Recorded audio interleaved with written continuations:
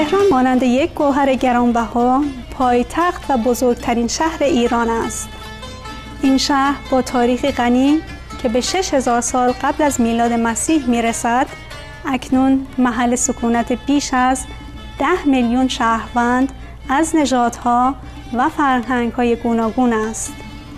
تهران یک مرکز مهم آموزشی در ایران است که دارای حدوداً 50 دانشکده و دانشگاه می باشد. این شهر همچنین محلی برای نمایش جاذبه های فرهنگی جهانی می باشد.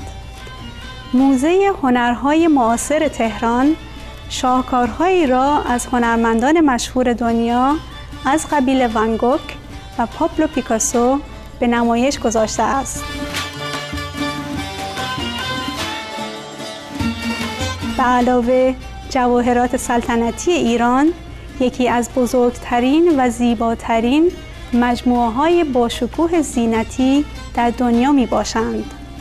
فقط کافی است که از کاخ با عظمت گلستان با تخت تابوس پادشاهان پارسیش دیدن شود تا ما تصوری از میراث حیرت انگیز این شهر و کشور داشته باشیم.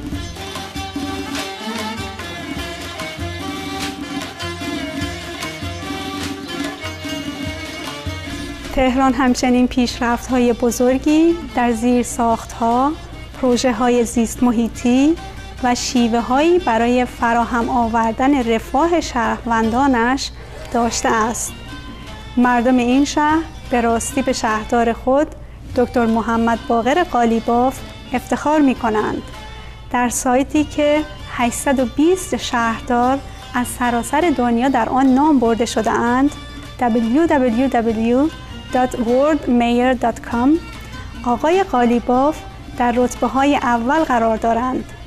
این نتایج بر اساس نظرسنجی اینترنتی بعد از بررسی های بسیار و جمعآوری عقاید مردم از سراسر دنیا بودند.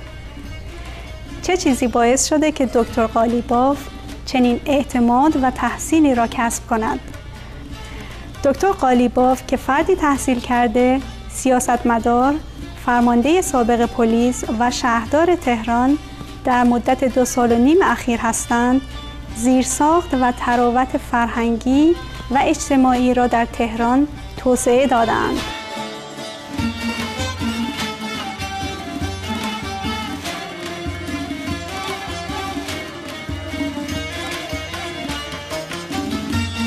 ایشان و همکارانشان در شهرداری با ساختن پلها و پارکها و بهبود خیابانها و پیادهروها ظاهر شهر را بهبود بخشیدند. همچنین ایشان خواهان بهبود کیفیت زندگی مردم با ساختن سینماها و پارک های عمومی هستند. دکتر قالیباف علاوه بر خدمت به مردم تهران در تعهدش به کمک در بازسازی عراق بسیار سخاوتمند بودند. ایشان اظهار داشتند که ایران راقب است تا در ساخت بزرگراهها و جاده ها در عراق کمک نماید.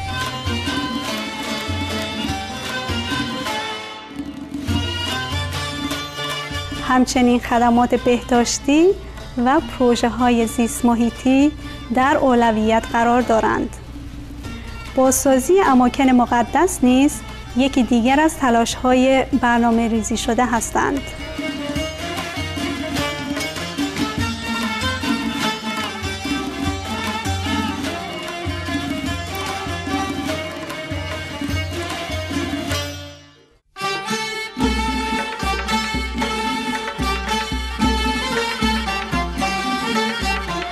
مجدد به برنامه امروز که در مورد دستاوردهای دریافت کننده جایزه رهبری درخشان جهانی دکتر محمد باقر غالیباف شهردار تهران پایتخت ایران می باشد خوش آمدید.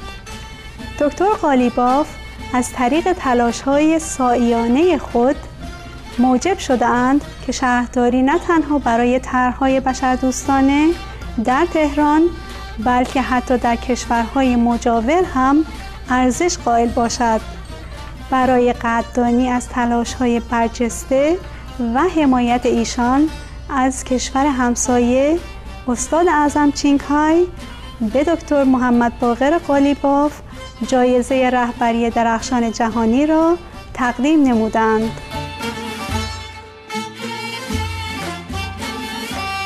اعضای انجمن ما به تهران سفر کردند تا در مراسمی این جایزه را تقدیم کنند. دکتر محمد خدادادی مشاور امور بین الملل شهردار تهران این جایزه را از طرف دکتر قالیباف پذیرفتند به علت اینکه ایشان خود نمی توانستند شخصا جایزه را دریافت نمایند در حین این مراسم دکتر خدادادی درباره آخرین پیشرفت ها و طرحها در تهران زیبا با ما گفتگو نمودند.